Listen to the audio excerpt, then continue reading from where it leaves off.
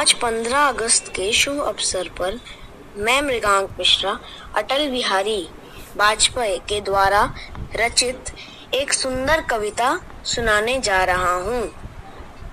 15 अगस्त का दिन कहता, आज़ादी अभी अधूरी है, सपने सच होने बाकी है, रावी की शपथ न पूरी है। जिनके लाशों पर पगदड़ कर आज़ादी भारत में आई वे अब तक हैं। खाना बदोश गम की काली बादल छाई कलकत्ते के फुटपाथों पर जो आंधी पानी सहते हैं, उनसे पूछो पंद्रह अगस्त के बारे में क्या कहते हैं। हिंदू के नाते उनका दुख सुनाते यदि तुम्हें लाज आती तो सीमा के उस पार चलो।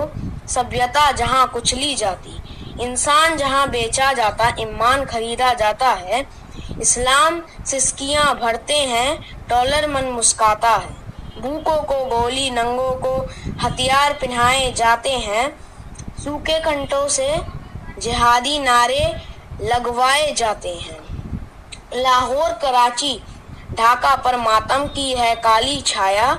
पखतूतों पर गिलगिटों पर है गमगीन गुलामी की साया। बस इसलिए तो कहता हूँ, आज़ादी अभी अधूरी है। कैसे उल्लास मनाऊं मैं। थोड़े दिन की मजबूरी है। दिन दूर नहीं, खंडित भारत को पुनः अखंड बनाएँगे। गिलगिट से गारो पर्वत तक आज़ादी पर्व मनाएँगे। उस स्वर्ण दिवस के लिए आज से कमर कसे। बलिदान करें।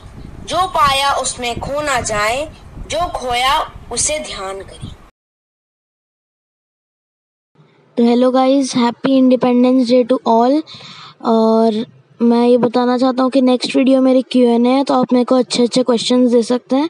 अगर अच्छे क्वेश्चंस होंगे तो मैं उसको पिक करूँगा और आपके आंसर दूँगा। Thanks for watching